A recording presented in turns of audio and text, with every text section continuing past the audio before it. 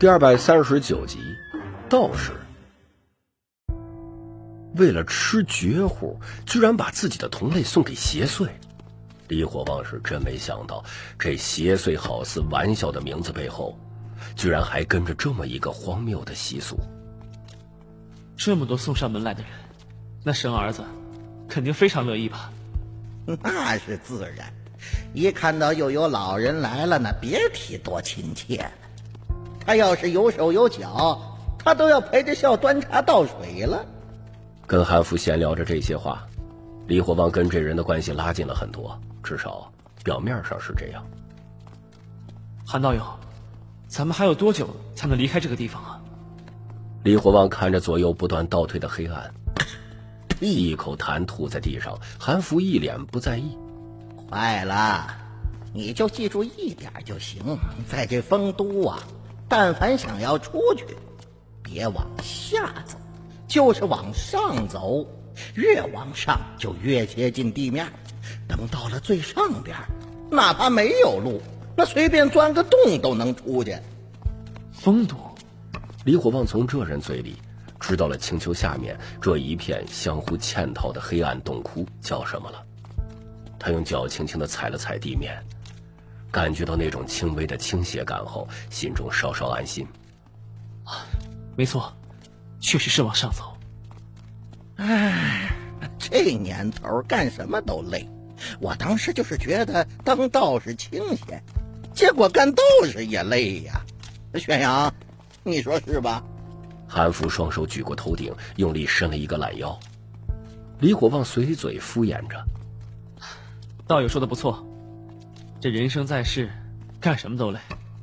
之前跟此人论道的女童生不见这么久了，但是此人脸上看起来一点都没有担心。莫非那人没死？李火旺的眼睛微微向着四周张望。虽然跟这人的关系稍稍拉近了，而且之前还在神儿子的威胁下共患难过，可是李火旺依然没有信任他。喏，你看那边，咱们快到了。顺着韩福的手往前看去，李火王看到前方有一处迷迷糊糊的白点，看起来外面的天气还行。看到了出口，精神高度紧绷的众人顿时松了一口气。绕了这么久，总算是到头了。在这暗无天日的地方待久了，仅仅只是远远的看着那一点点阳光，都能让所有人的心情好上不少。李火旺一行人在韩福的带领下，拖着黑太岁向那边走去。眼看都快要出去了，韩福的嘴巴还不闲着，叭叭叭的说着不停。哎，道友，之前那场天灾你晓得吗？听说动静可大了，都快打成一锅粥了。结果因为天灾又停下来了。这是自然，腐败全消失了。李火旺回头点了点人数。发现一个人都不少，心中稍安。我还记得上一次天灾的时候，是我三岁的时候呢。正在盯着那越来越大白点看的李火旺，瞳孔微微一缩，瞬间被这消息吸引了注意。难不成腐烂消失这种事情，过去还发生过很多次？这个消息实在让李火旺感到无比的震惊。他发现自己来这鬼地方这么长时间了，对这世界的了解完全少得可怜。他按捺着内心的激动，语气缓和，对着韩福说：“上次天灾，在下并没有印象，可否告知在下一二？”啊？哦，原来你不知道啊！我还以为你知道呢。上一次，我记得是谎言消失了，可真有意思。我听我师傅说。那会儿，做望道的那帮骗子急得都要自杀了。说到高兴处，韩福笑得很是开心。谎言消失，李火旺有些很难理解，那会是一种什么样的世界？所有人都说真话。就在李火旺还要继续发问的时候，对方先发话了：“哎，全阳啊。”你晓得是因为什么引起的天灾吗？韩福的脸上带着一丝显摆的得意。韩道友可知道？韩福脚下的布鞋微微向李火旺身边靠了靠，声音非常低：“我就告诉你一个人，你可别告诉别人啊！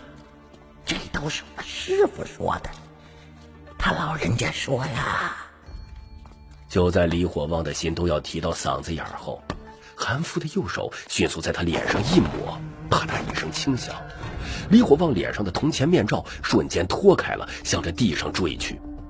李火旺几乎是瞬间就用手接住面罩，可是却已经晚了，他的面孔已经完全呈现在韩福面前。看着李火旺的脸，韩福脸上先是露出一丝了然，紧接着带着几分得意。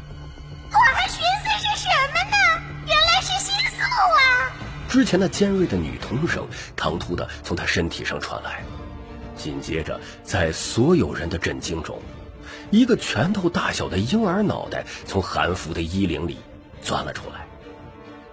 婴儿那毛发稀松的头顶上，同样顶着跟韩服头顶一样的方形太极黄道冠。一个身穿黄色道袍的道士，偏偏有一大一小两个头。这一幕怎么看怎么瘆得慌，难怪他看到狗娃他们的样子总说不碍事，他比李火旺这边要怪多了。看到这一幕，李火旺的脸色变得非常的难看。原来之前在黑暗中跟他说话的根本就是他自己。韩道友，你这是什么意思？真拿我们清风观没有人吗？看着面前的双头畸形道士，手已经握住剑柄的李火旺实在不想在这个时候跟实力不详的对方发生冲突。韩福一大一小的两个脑袋同时咧开嘴，露出黑黄相间的一口烂牙。既然你都是心宿了，那你觉得我是什么意思？是啊，你猜，你猜呀。